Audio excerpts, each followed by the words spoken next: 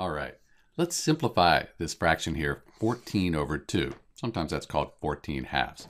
So what we want to do is we want to find a fraction that's equivalent to 14 over 2. It has the same value, it's just that we've simplified it or reduced it to lowest terms. To do that, we need a common denominator.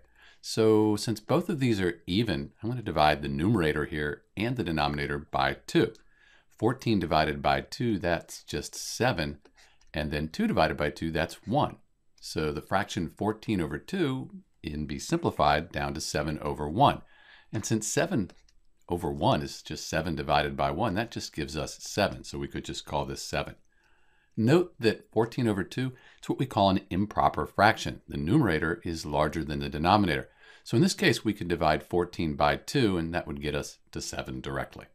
This is Dr. B, simplifying 14 over 2. The answer, 7 over 1, or just 7. Thanks for watching.